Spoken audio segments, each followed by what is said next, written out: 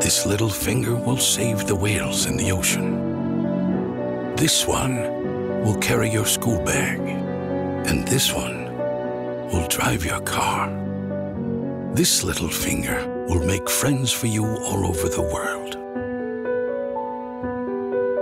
This one will order pizzas, command the light, command legions.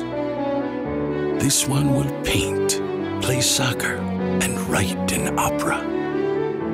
This little finger will topple dictatorships. And this one will make the world better. But if one day you just want to listen to the sound of the wind to turn everything off, it's this little finger.